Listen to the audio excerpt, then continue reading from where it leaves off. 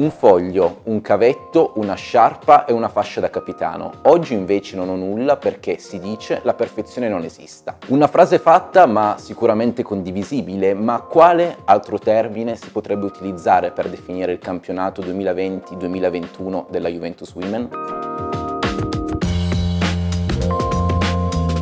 Tre scudetti, l'ultimo assegnato a tavolino per l'interruzione Covid, sono già in bacheca, ma la Juventus ha bisogno di rilanciare le proprie ambizioni. In panchina c'è sempre Rita Guarino, ma la rosa è stata ulteriormente rinforzata. È arrivata l'attaccante svedese Lina Urtig, un profilo giovane, rampante e soprattutto di livello internazionale. Le vellette europee della Juventus Women vengono però subito disilluse. Il sorteggio di Lyon mette di fronte alle bianconere il Lione 5 volte campione in Champions League, passare il turno è praticamente impossibile.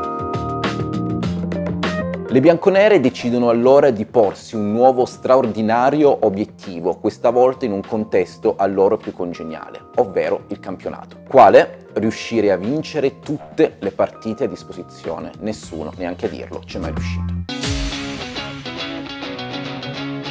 La vittoria per 2-0, firmata Girelli e Caruso, apre la trionfale cavalcata tricolore, seguita la settimana successiva da un rocambolesco spettacolare 4-3 sull'Empoli. Le cinque gare che seguono vedono addirittura lo zero alla voce dei gol subiti, con una Juve che macina calcio. Vittoria dopo vittoria.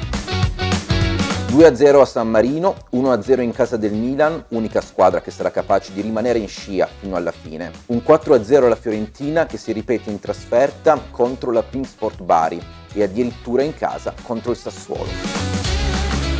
Dopo le vittorie con Florenza San Gimignano, Napoli e Roma, il primo successo del 2021, nonché ultima gara del girone d'andata, viene suggellato da un sonoro 0-3 in casa dell'Inter. Il ritorno si conferma percorso trionfale. 5-0 al Verona, 0-3 contro l'Empoli, 1-3 a San Marino e decisivo 4-0 alle rivali del Milan a Vinovo, che debella definitivamente la concorrenza rossonera. Una prova di forza schiacciante che permette a Saragama e compagni di addolcire la recente eliminazione in Coppa Italia con la Roma e soprattutto di mettere nuova benzina nel motore per concludere lo sprint finale. Da marzo a maggio spiccano il 9-1 contro la Pink Sport Bari e il 6-1 alla Florenza San Gimignano.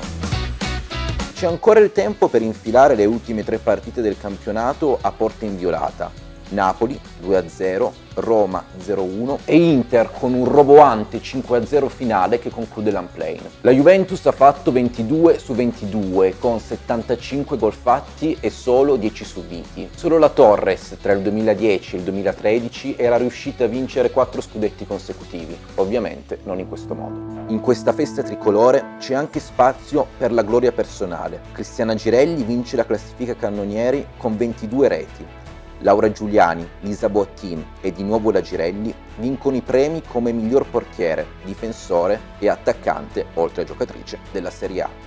Alla fine sono solo lacrime di gioia e di precoce nostalgia per gli addii già annunciati del portiere Laura Giuliani, uno dei simboli della Juventus Women e soprattutto di coach Rita Guarino.